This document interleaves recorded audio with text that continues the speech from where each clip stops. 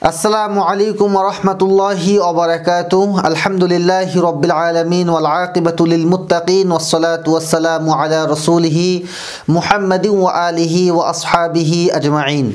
প্রিয় দিনী ভাই ও বোনেরা, আমি হাফেজ কারি মোহাম্মদ মোস্তাফিজুর রহমান মুয়াজ। অনলাইন মাদ্রাসার আরও নতুন একটি ভিডিওতে আপনাকে স্বাগতম।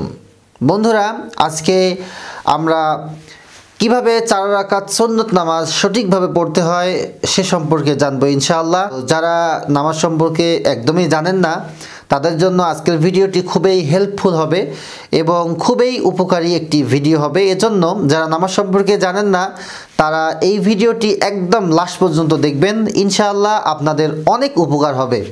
তো বন্ধুরা, এখন আমরা চলুন জেনে নেই যে কীভাবে চার রাকাত সুন্নত নামাজ আদায় করতে হয়। তো ধরুন আমি জোহরের আগে চার রাকাত যে সুন্নতে মোয়াক্কাদা নামাজ আছে, আমি এই চার রাকাত সুন্নত পড়ব। তো কীভাবে পড়ব? তো বন্ধুরা, আমি যদি জোহরের আগের চার রাকাত সুন্নত নামাজ পড়তে চাই, সর্বপ্রথম আমাকে নামাজে দাঁড়াতে হবে।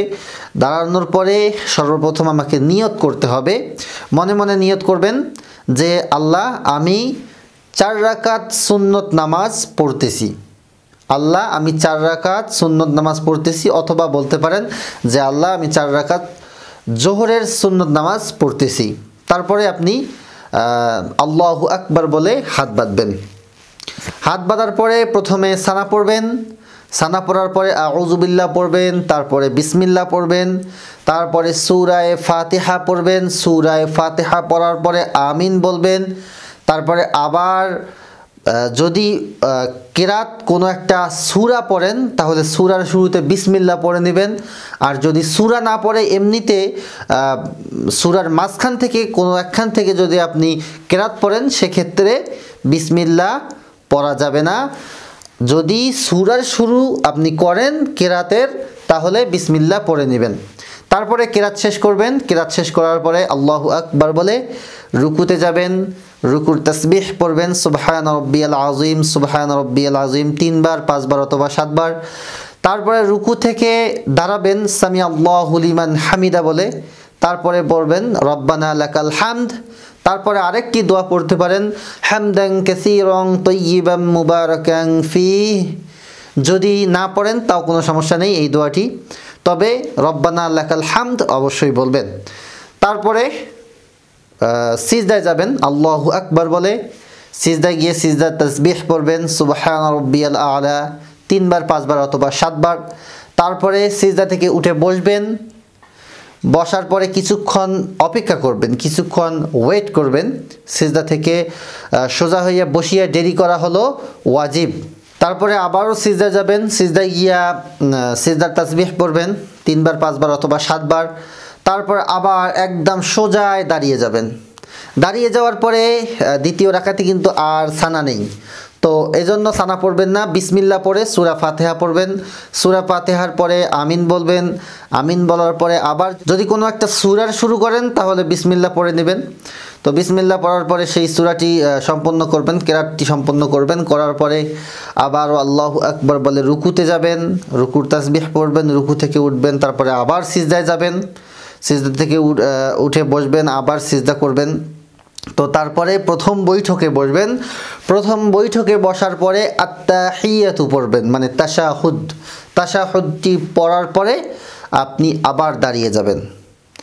তো তৃতীয় রাকাতের জন্য। দাঁড়ানোর পরে আবার সুরায় ফাতিহা পড়বেন বিসমিল্লা সহকারে। তারপরে আপনি আবার একটি সুরা মেলাবেন, কেরাত পড়বেন।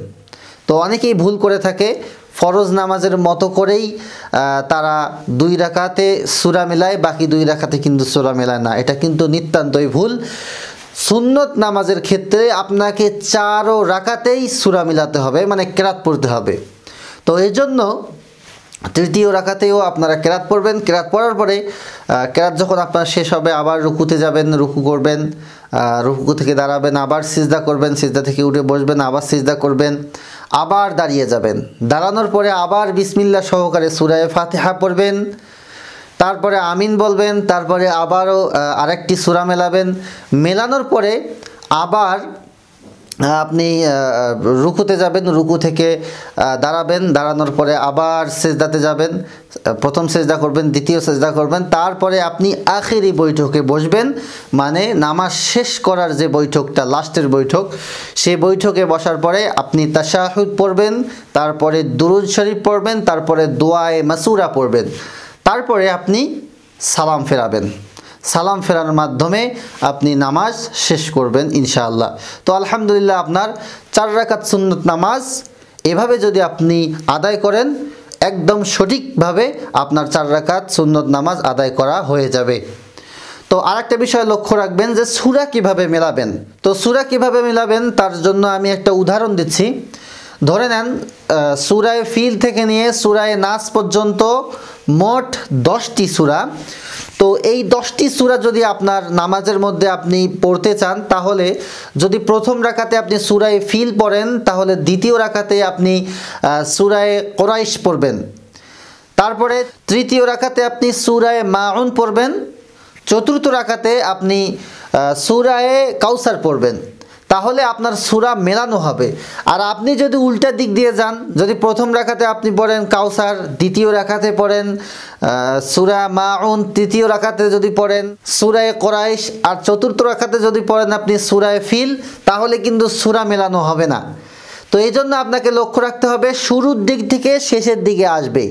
আপনি যদি প্রথম রাখাতে সুরা বাকারাও পড়েন, দ্বিতীয় রাখাতে আপনি সুরায় আলে ইমরান পড়বেন, এভাবে এই দিকে আসবেন। এই দিক থেকে ওই দিকে যাবেন না। আশা করি আপনারা বুঝতে পেরেছেন। তারপরে যদি আপনাদের বুঝতে কোথাও কোনো সমস্যা হয়, তাহলে অবশ্যই আমাকে কমেন্ট করে জানাবেন। ইনশাআল্লাহ আমি আপনাদের কমেন্টের রিপ্লাই দেওয়ার চেষ্টা করব। কারণ আপনাদেরকে হেল্প করার জন্যই আমি সর্বদা প্রস্তুত। এজন্য অবশ্যই আমাকে কমেন্ট করে জানাবেন। আর যদি ভিডিওটি আপনাদের কাছে একটুও ভালো লেগে থাকে, তাহলে আমি অনুরোধ করব ভিডিওতে একটা লাইক দিবেন। এই ভিডিওতে যতগুলো লাইক আসবে, আমি মনে করব আমি ততজন মানুষকে একটু হলেও হেল্প করতে পেরেছি। আর বন্ধুরা, অবশ্যই এই ভিডিওটি আপনার বন্ধু বান্ধবদের সঙ্গে শেয়ার করবেন, কারণ অনেকেই নামাজ সম্পর্কে পুরোপুরিভাবে জানে না। তো আপনার কারণে যদি একজন মানুষও ইসলামের একটি বিষয়ে জানতে পারে নামাজ সম্পর্কে জানতে পারে, তাহলে অবশ্যই আল্লাহ তালা আপনাকেও পুরস্কৃত করবেন আল্লাহ তালা আপনাকেও অনেক সব দান করবেন। আর বন্ধুরা, যদি আপনি নিয়মিত আমাদের এই চ্যানেলের ইসলামিক ভিডিওগুলো পেতে চান, দোয়া, হাদিস, মাসলা, মাসাইল সম্পর্কে জানতে চান, তাহলে অবশ্যই আমাদের চ্যানেলটিকে এখনই সাবস্ক্রাইব করে পাশের বেল বাটনটি অন করে রাখুন। আল্লাহ চাহে তো দেখা হবে পরবর্তী কোনো একটা ইসলামিক ভিডিওতে। ততক্ষণ পর্যন্ত আল্লাহ তালা আপনাকে, আমাকে, আমাদের সকলকেই ভালো রাখুন, সুস্থ রাখুন। সেই আশা ব্যক্ত করে, সেই দোয়া করে আজকের মতো বিদায় নিচ্ছি। আল্লাহ হাফেজ। ওয়াসালামু আলাইকুম আ রহমতুল্লাহি